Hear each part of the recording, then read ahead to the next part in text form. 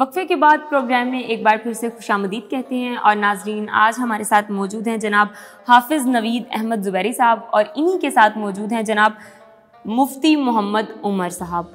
इन दोनों हजरात को हम यहाँ पे प्रोग्राम में खुश आमदीद कहते हैं और जिस तरह से आप जानते हैं कि आज का हमारा जो मौजू है, वो एतकाफ़ के हवाले से है और इसी के हवाले से हम सवालत का सिलसिला जो है वो शुरू करेंगे। और जनाब मुफ्ती मोहम्मद उमर साहब से मेरा पहला सवाल है, इसी हवाले से कि एतकाफ़ से क्या मुराद है?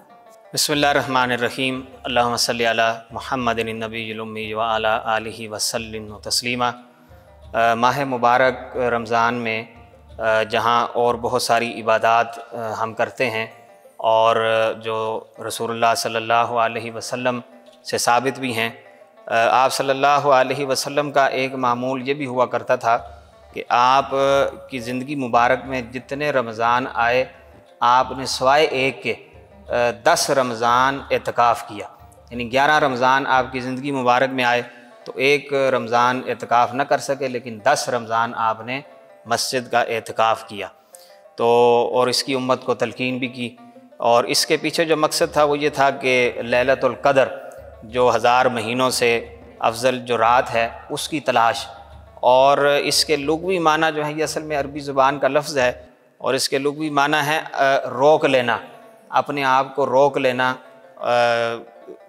मस्जिद की तरफ़ चले जाना, और यानी कि गुनाहों से रोकना, और अपने आप को दीगर मशागल से रोक कर सिर्फ़ खालसता अल्लाह के साथ अपनी लो लगा लेना।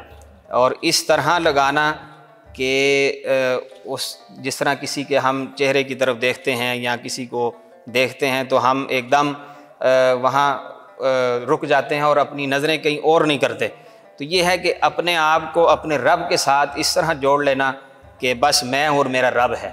तो ये सुन्नत अमल है। अल्लाह रब्ज़त हम सबको भी इसकी तोफ़ी अता फ़रमाए और इस सुन्नत को पूरा करने की हमें हिम्मत और तोफ़ी अता फ़रमाए रमज़ान मुबारक इस बाबरकत महीने में। बिल्कुल। हाफिज़ नवीद अहमद साहब हमारे साथ मौजूद हैं। इसी हवाले से बड़ा एक अहम सवाल है कि एतकाफ़ की दीन में क्या फजीलत बयान की गई है? बसमीम काल अल्लाह ताला अनतरा बैती तोफ़ीन वलाकिफ़ीन वर्रुकसूद सदक़ल्लाज़ीम एतकाफ़ उन इबादत में से है जो कि नबी सल्लल्लाहु अलैहि वसल्लम के तशरीफ़ लाने से भी पहले जो इबादत चली आ रही थी, उनमें एतिकाफ़ उनका हिस्सा था। अल्लाह तबारक व ने हमारे जद्द अमजद हज़रत इब्राहीम वसलाम को हुक्म दिया, जब उन्होंने बैतुल्ला की तामीर फरमा ली तो कहा कि, अंत हीरा बैतिया, कि मेरे घर को पाक साफ़ रखें आप दोनों, यानी इब्राहीम और हज़रत इसमाईल लिताफ़ीन वलाकिफ़ीन तवाफ़ करने वालों के लिए और अतिकाफ़ करने वालों के लिए। तो इससे भी आप अंदाज़ा कर सकते हैं। और फिर नबी सल्लल्लाहु अलैहि वसल्लम ने जो एतिकाफ़ फरमाया है, उस एतिकाफ़ में वो जो मकसूद है ललतुल्क़द्र को तलाश करना, अब इसकी फजीलत का अंदाज़ा हम इससे लगा सकते हैं कि अगर किसी शख्स को ललतुल्क़द्र की रात मिल जाती है, जो कि ताक रातों में से किसी एक में आएगी ये जो लोग कहते हैं ना जी फ़लाँ रात को वो रात है लैलतुल्क़दर ये सही नहीं है। वो ताक रातें हैं, वो इक्कीस हो, तेईस है, पच्चीस है सताईस है और उनतीस है। तो जिस शख्स को वो मिल जाती है लैलतुल्क़दर जिसे हम कह रहे हैं, वो वाली रात तो फरमाया लैलतुल्क़दर खैर मिन अल्फ़ शहर। यानी इतनी बड़ी फजीलत के एवरेज ये तिरासी साल बनते हैं। अगर कोई शख्स एक रात की इबादत करके तिरासी साल की इबादत जितना सवाब हासिल कर ले तो उससे बड़ी फजीलत उस शख्स के लिए और सादत क्या हो सकती है?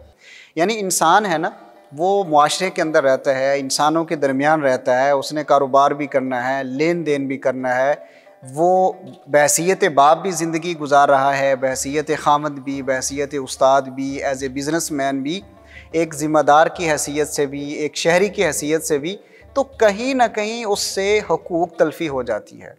सगीरा गुनाह हो जाती हैं, कबीरा गुनाह हो जाती हैं। वो कारोबार में किसी से झूठ बोल लेता है, किसी को धोखा दे देता है, किसी से फ्रॉड कर लेता है तो हम, हमें अगर हमारी एवरेज लाइफ अगर इतनी हो भी तो हम उतना सवाब हासिल नहीं कर पाते, जितना एक रात के इबादत से हम हासिल कर पाएँगे। और दूसरी फजीलत का अंदाज़ा आप इससे लगा लें कि इंसान जब एतिकाफ़ बैठ जाता है तो वो सारी चीज़ों को छोड़ देता है। वो खालिसतन यकसुई के साथ, बिल्कुल यकसू होकर वो अल्लाह की इबादत में लगा रहता है। उससे ज़ाहिर है कि मस्जिद तो अल्लाह का घर है, वो पाक जगह है। उससे कोई फिज़िकली गुनाह तो हो नहीं सकता है। अब रही बात कि ज़ुबान से गुना वो ज़ाहिर है कि हो सकता है कि वो इतकाफ़ बैठा भी ज़ुबान से झूठ बोल दे, कोई ऐसा काम कर ले। लेकिन जब वो इतकाफ़ बैठा होता है तो उसके जहन में जो मकसद होता है इतकाफ़ के बैठने का, वो उस मकसद को जब मद्देनज़र रखता है, वो तहजद गुजार हो जाता है। अब उसने ज़िंदगी में हो सकता है तहजद ना पड़ी हो, लेकिन इस बहाने वो रोज़ाना तहजद भी पढ़ रहा है, एक बड़ा हिस्सा कुरान करीम की तिलावत कर रहा है। वो कुरान हकीम का तर्जमा पढ़ रहा है, उसकी तफसीर पढ़ रहा है, कुरान के अहकाम समझ रहा है और नवाफिल मुसलसल अदा कर रहा है तस्बीहात पढ़ रहा है। तो ये जिस कदर हम इबादत का ज़िक्र कर रहे हैं, अगर कोई शख्स एक्स्ट्रा इबादत ना भी करे, ये सारी इबादत थोड़ी थोड़ी भी कर ले और उसे वो वाला सवाब, देखिए, ज़ाहिर है कि जब बंदा इतकाफ़ बैठा है तो उसने इबादत तो करनी ही करनी है और उसने बावजू सोना है। और वो भी अल्लाह के घर में सोना है तो डेफिनेट उसे इन ताक रातों में से जिस रात को भी लैलतुल कदर हुई, उसे तो मिल ही जानी है ना, बाहर वाले को मिले या ना मिले। तो उसके हिस्से में वो जो फजीलत और वो जो अजर सवाब आएगा तो उस शख्स से बड़ा खुशकिस्मत और फजल और फजीलत वाला कौन हो सकता है जिसे वो ताक रात मिल गई है? और फिर देखिए, नबी सल्लल्लाहु अलैहि वसल्लम ने एक साल पहले दस दिन एहतिकाफ़ फरमाया।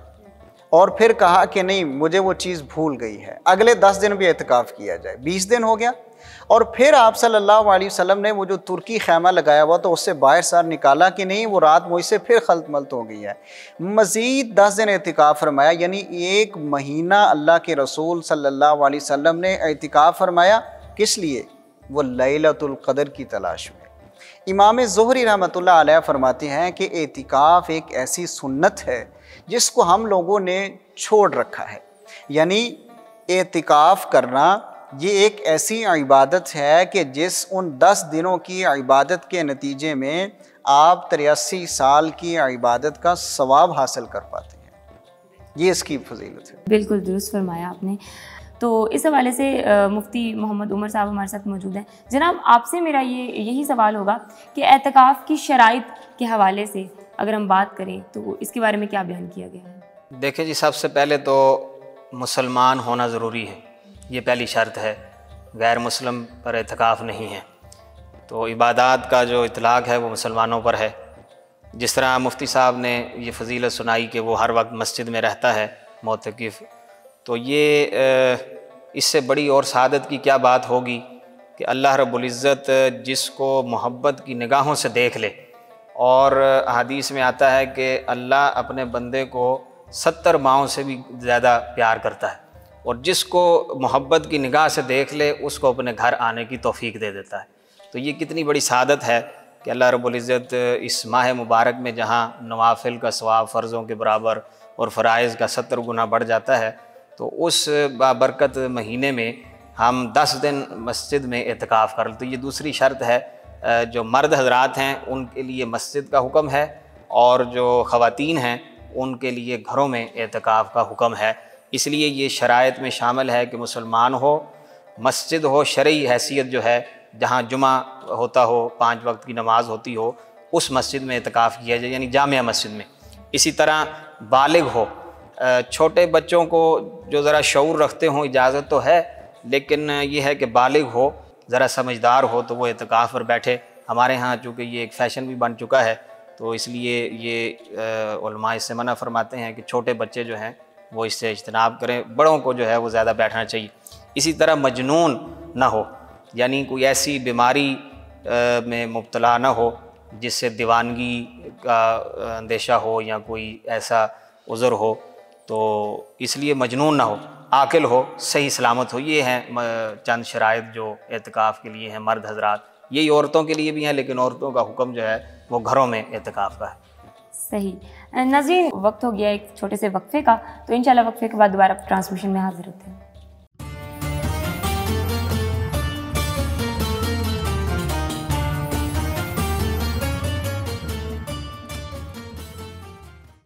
Explore your interests and passions to discover your talents and fulfill your dreams at UMT. Information Processing Center accommodates more than 25,000 participants and meets the international standard.